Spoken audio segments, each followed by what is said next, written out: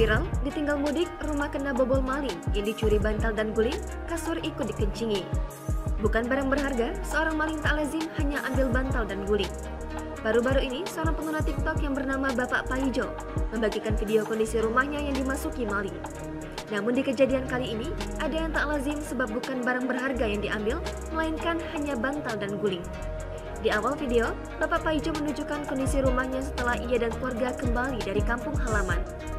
Terlihat juga guratan di kusam jendela seperti seseorang berusaha mendongkelnya.